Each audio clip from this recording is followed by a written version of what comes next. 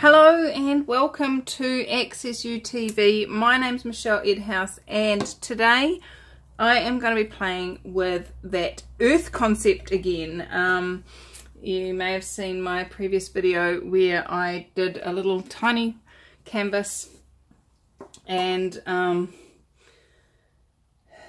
it didn't look like earth and I couldn't get it to be perfectly round and oh I went into uh, the wrongness of it and um, a beautiful, beautiful being said to me at, um, in one of the comments that um, that before Earth started to separate, um, can't remember what he said. I'm just looking for the comment now. Um, before, when all the continents were all stuck together, it kind of looked like what my painting looked like. So. Um, so that was that was kind of cool. I was like, oh yeah, good point. There we go. Mr. Sirius, Sirius. Um, ancient Earth had a single continent called Pangaea.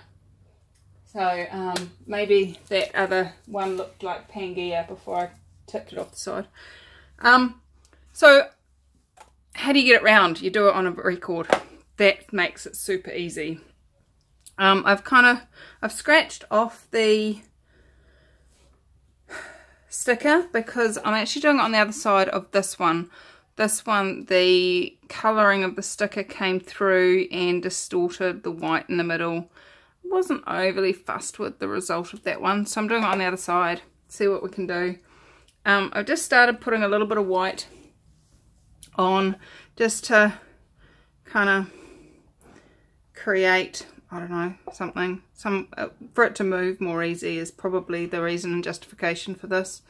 Um, I was playing is really, I'm not gonna, I'm not gonna lie. I was playing. I was in a meeting and I was waiting for the meeting to finish and I was mixing paints while I was in the meeting.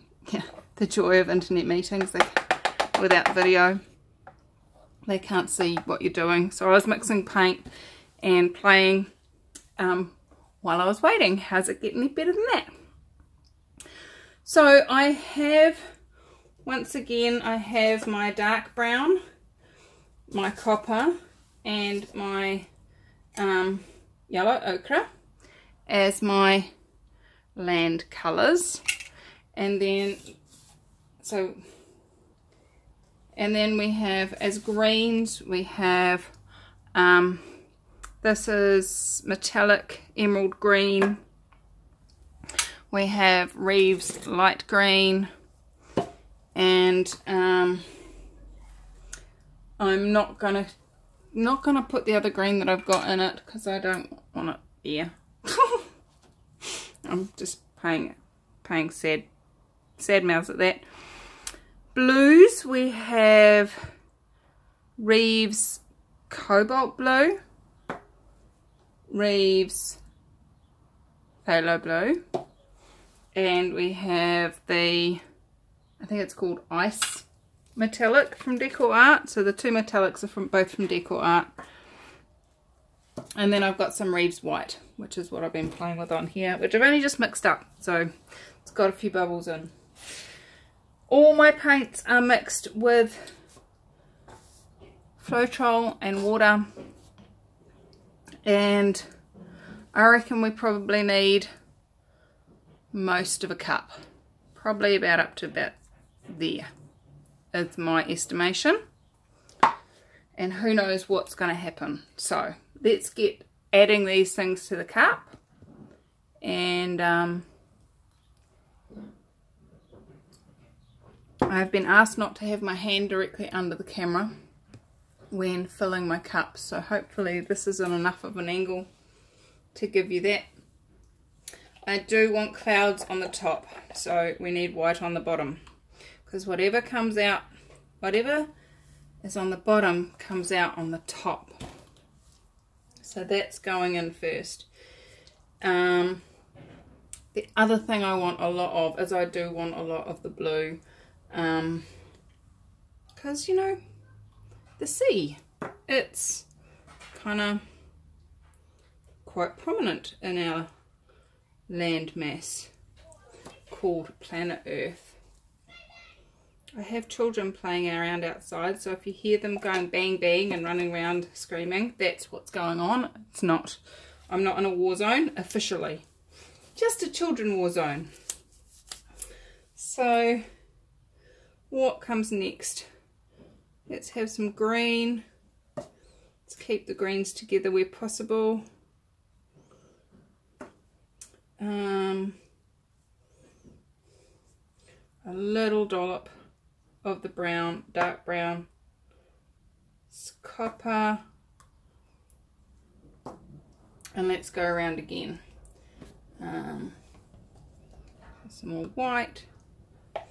Who knows what this is going to come out like. You guys have got as good a guess as I do. Um, and I'm willing to allow it to be whatever it be this time. I'm not going to judge it for not looking like the earth, but I do desire to have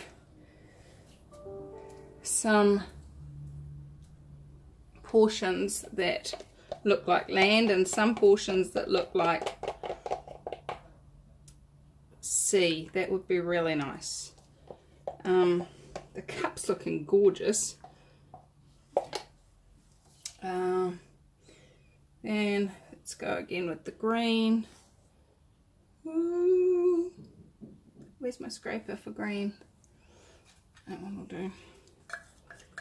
The last of that in. It's got lots of yummy metallic green in there. And the last of my light green, and that's literally is the last of my light green. I'm to have to go hunt it out because the shop that I normally get it from does not have any.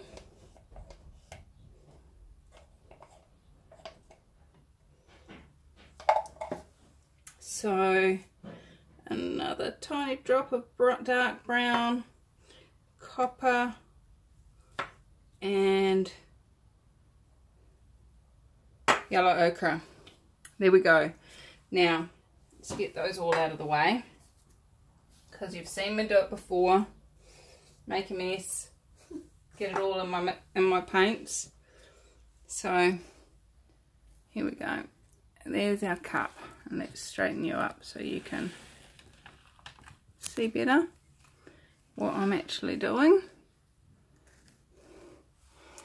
And so I'm going to,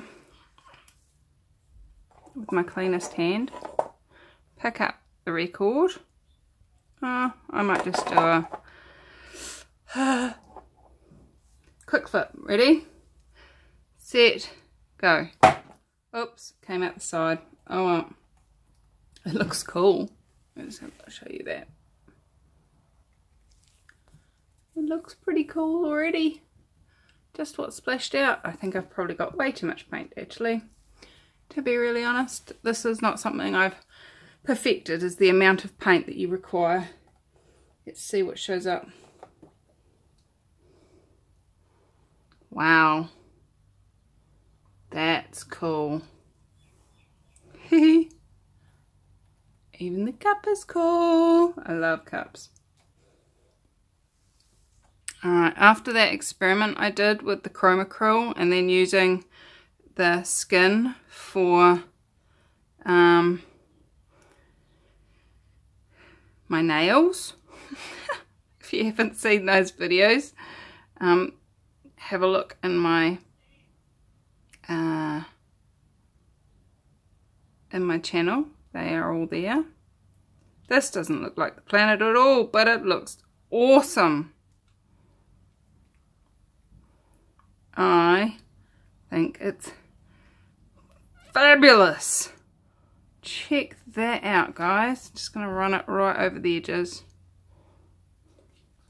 I've got plenty of paint and plenty of awesomeness. How does it get any better than that? Look at all that copper through the centre there. Oh, yummy. I am going to get the torch and see what shows up. see if we can make sure that's there and see if we can line it Oh no, lightning, lightning, it looks hideous. Okay. So, when you're using the torch, like, get, see how the flame is there? And just bring your hand in. My hand's just there and it's warm. So that's how far I want it to be away from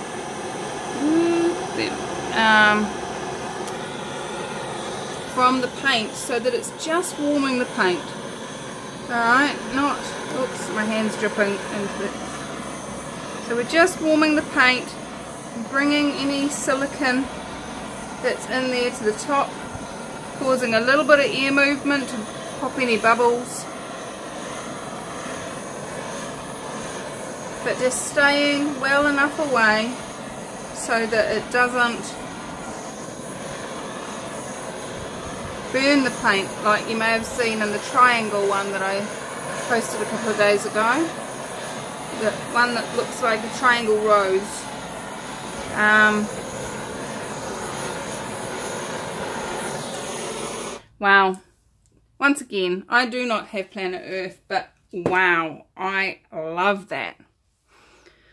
So, let's get you down and show you the details. I'm seeing that um, it is still actually developing, which is super cool. But I love it. Uh, this is this is the sort of thing that makes a fantastic clock. So let's get you down and show you. Alright. Yum, yum, yum. What it take for my phone to stay in focus for you guys? So we've got some really cool looking eyes in the middle there. Check them out. Tiny little eyes. But lots of layers in the paint. So as the silicone bubbles up through the paint, it shows you these different, that one looks like a cut in the side of a, a hill showing you the layers of the hill. How does it better? Yummy!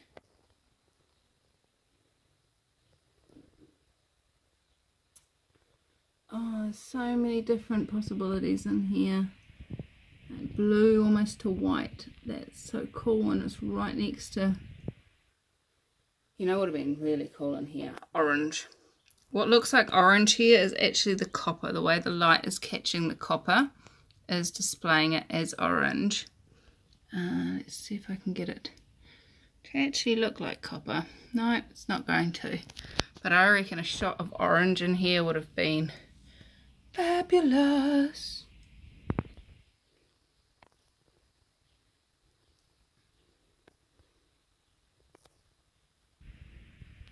Oh, I love it. Look, there's the little drip that came off my glove right there in the center. It looks pretty, even though it's a drip. so there you go. If you're a drip, doesn't mean you're wrong. How many of you were made wrong for being a drip at school? Behaving like a drip. What did that even mean? Look at all those little bits inside that copper. That's cool. I am looking forward to this one drying. So I think my next video I'm going to put some what they look like once they were dry um, at the beginning of it. So you guys can check out some of what, what some of the past videos look like once they dried. And um, what would it take for this one to look as good as this or even better once it's dried? So thanks so much for joining me at McE Art and if you like the video if you want to know more check out my other videos subscribe um, and come play. Uh, I'd love to see what you're creating. I love I love watching on some of the Facebook groups I'm on. And if you've got any questions, post them in the comments and I love to answer those for you in future videos as well as in the written comment responses. How did I get so lucky to have you guys watching my videos? Thank you so much. Have fun and what else is possible? And are you willing to allow it to turn out totally different than what you thought it would. Bye bye.